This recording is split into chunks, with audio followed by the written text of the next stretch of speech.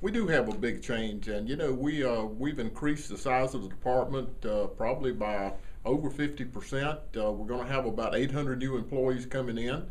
So uh, what this means is forestry, soil and water, the, the state bedding inspection program, and the grade A milk program have been uh, realigned with the Department of Agriculture. Did and it makes I think perfect sense if you look at how state government ought to be organized. Uh, in the case of forestry, uh, one of our largest agricultural commodities in the state, uh, somebody that we work very closely with. And if you think about it, there are very few farms in North Carolina that don't have some type of forest resources uh, on them.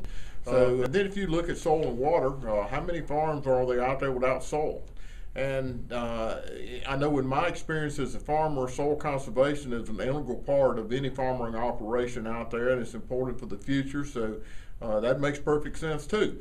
Uh, we already do the inspection of uh, the manufactured milk products uh, in North Carolina, and our Food and Drug Division is recognized as one of the top in the nation. So, once again, there's synergy there. we hope we're hopeful down the road that we can uh, to get to the point that we only make, make one inspection of the processing facilities and the farms, as opposed to the two that happen now. So, we think there's there's a lot of uh, efficiency there.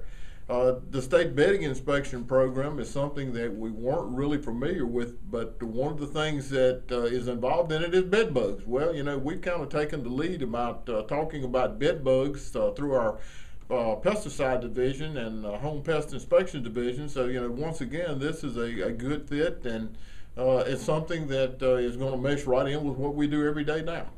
You mentioned hundreds of new employees coming into the department. Um, what do you think that they should expect from being in the agriculture department?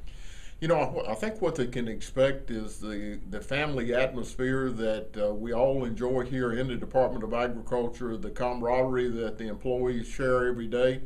Uh, they can also expect to be a part of the state fair, something they probably have never experienced and something that they will thoroughly enjoy uh, as employees of the department. The one so, thing that I have done as commissioner is I have, uh, you know, I have fought at uh, every turn to make sure that the people that are in this Department of Agriculture have the resources and the ability to do their job. And uh, I will continue to do that for the new employees that come in and I think uh, I think they will enjoy that. But what what do you think the public can expect from this new arrangement? Well, I think the one thing that they you know they can expect and that I will demand is that we are customer friendly.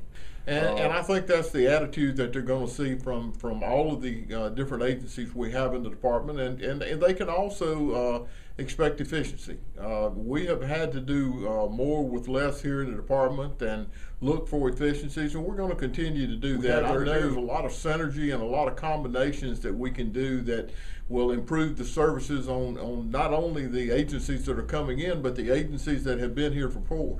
Uh, from that prospect, I'm, I'm really excited about it, uh, being able to, to offer even offer even better service to the public for the things that we do with you know no uh, no extra cost to the taxpayers.